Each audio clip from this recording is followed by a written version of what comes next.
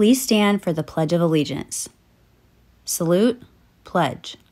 I pledge allegiance to the flag of the United States of America and to the republic for which it stands, one nation, under God, indivisible, with liberty and justice for all. Thank you. You may be seated.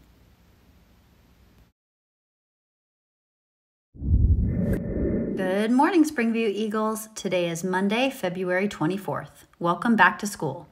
Stay in touch with what's going on at Springview via Facebook, Twitter, Instagram, and YouTube.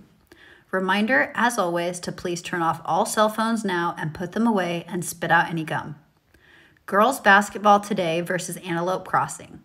Go Eagles! Library closure. Good morning from the library. We will be closed all day today, including break 5A and 5B due to pentathlon testing. Please take care of your library needs after school. Students wishing to return books may do so in the front office. Students with PE exclusions will report to the front office instead of the library. Thank you and sorry for the inconvenience. GSSA meeting canceled this week. There will be no GSSA meeting on Wednesday this week due to a school wide activity. See you next time. Day 11, June 15th, 1921.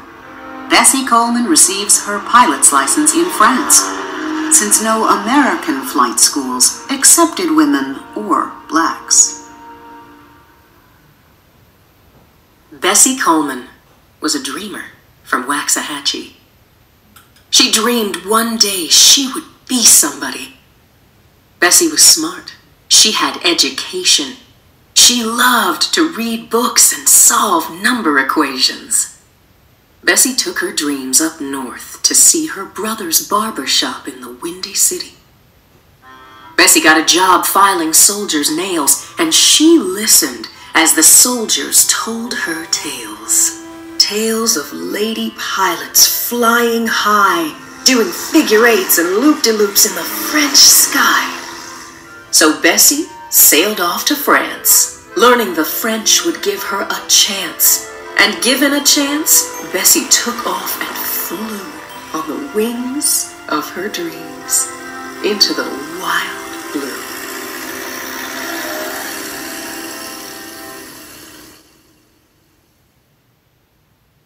Bessie Coleman was 29 years old when she received her pilot's license from the Fédération Aéronautique Internationale, FAI.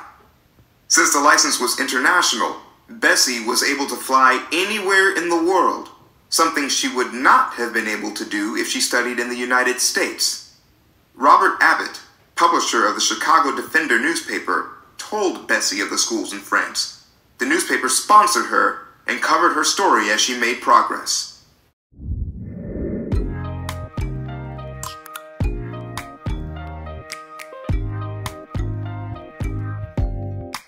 Open up, you OPN. Hit uh, you on BBM. Uh. We should be closer than friends. Uh. If you OPN, engaging you's on my agenda. Request my chariot to get ya.